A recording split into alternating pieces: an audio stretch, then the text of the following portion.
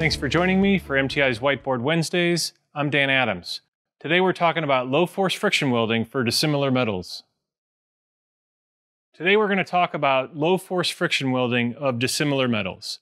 And if you've seen our previous episodes, you know that traditional friction welding is a great way to join dissimilar metals. And just about any metal that can be formed can be forged using uh, traditional friction welding. So why, why would we move to low force friction welding?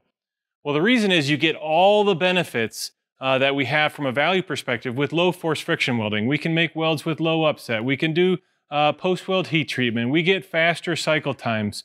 Uh, but we now also have the ability to balance the input heat or imbalance the input heat. So in traditional friction welding, if I want to weld a bar to bar, um, I have to rotate one component and I have to apply a forge force against it. That's the only levers I have to pull in order to balance the heat. And if I have two components that are drastically different in characteristics, I have to balance that heat towards the component which is more difficult to weld. This makes it really challenging uh, to make dissimilar welds in traditional friction welding. Now we've found ways to do it, uh, but it's challenging nonetheless.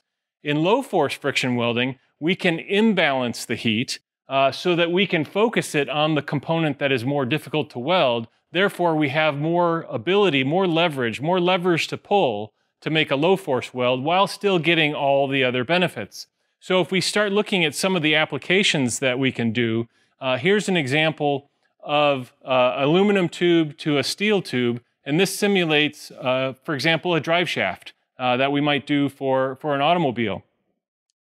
Um, we can also do solid components. Here's again, it's a, an aluminum to steel component, uh, but this is solid. We did this with a, with a round interface. We actually did it with uh, linear reciprocating motion, but you can see how little flash was generated, how little upset we got, which is drastically different than what we were doing if we used traditional friction welding.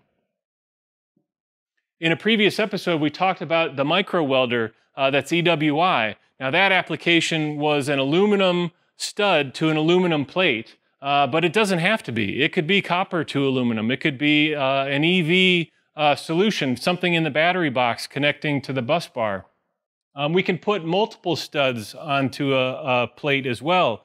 Um, and the benefit of low force here is because the, the forge force is so low and we can imbalance the heat, we can make these welds without any backside deformation uh, to a very thin plate. So that is a new application or a new geometry that can't be done uh, with traditional friction welding. And then obviously we can do the traditional uh, complex geometry. Uh, here's an example of an aluminum to steel weld uh, that was done with a very complex uh, component using linear friction welding.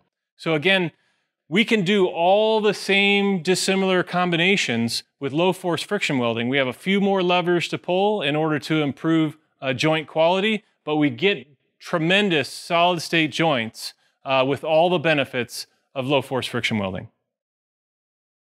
Thank you for joining us for this episode of MTI's Whiteboard Wednesdays. For more information on this topic or other friction welding solutions, please visit our website at mtiwelding.com.